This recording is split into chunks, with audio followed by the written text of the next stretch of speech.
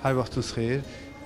E, İlk öncə istərik ki, özünüzü təqdim edəsiniz. Bir də bu gün belə bir tədbir keçirilir. Bu tədbir haqqında mövzunuz və kimlər iştirak edir? İstərdik ki, o haqqında məlumat verəsiniz. Mən bu gün çox sevinirəm ki, biz e, geniş kütlə anaların qarşısına çıxmağa hazırlaşırıq və analarımız da çox həvəslə bu maarifləndirici seminara qoşulurlar, gəlirlər, müraciət edirlər. Bu çox sevindiricidir. Və mən e, digər həmkarlarımı da təbrik edirəm. Bizim e, bu layihəni təşkil edən Ayda xanım, ə, Fuad doktor, Günel xanım və biz bir, birlikdə çalışacağıq ki, bu gün anaları maarifləndirək və düzdür, qısa zaman ərzində maarifləndirmək olmur, mümkün deyil, amma bu bir çağırışdır.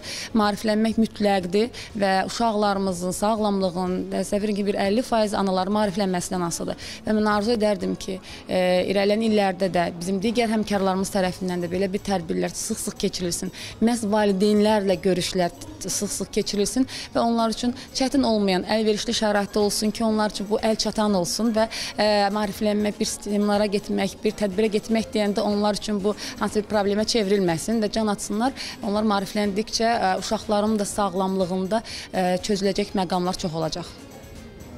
Bundan sonraki tədbirləriniz olacaq və bu tədbirlərdə mövzu seç- seçimini necə edirsiniz? Yəni valideynlərlə görüşübmü mövzu seçib e, təqdim edirsiniz yoxsa necə?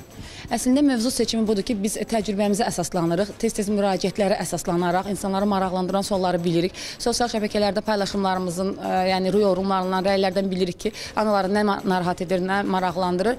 Bugünkü mənim mövzum tez-tez xəstələnən uşaqlara aiddir. Doğrudan da bu günümüzdə uşaqlar ə, doğrudan da tez-tez xəstələnirlər və çoxlu kimyəvi dərmanlar almağa məcbur qalırlar. Və mən istərdim ki, analar müəyyən bir qismini maarifləndirərək bu problemin bir qədər də olsa həllinə ə, yol tapaq. Sonda olaraq yəni valideynlərə nə məsləhət görürsünüz? Yəni bu tədbirlə bağlı e, yəni həm aktiv olsunlar, həm yazsınlar, həm də növbəti tədbiriniz yəni bilinirmi? Nə vaxt olma ehtimalı varmı?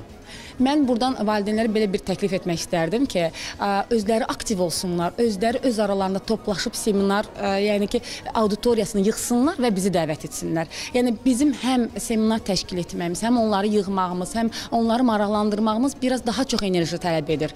Yəni iş baxımından, yəni fəaliyyət baxımından bu bizə biraz amma onlar özləri də müəyyən bir şeylər təşkilində aktiv iştirak etsələr, bu bizim də işimizin yarısını həll etmiş olacaq.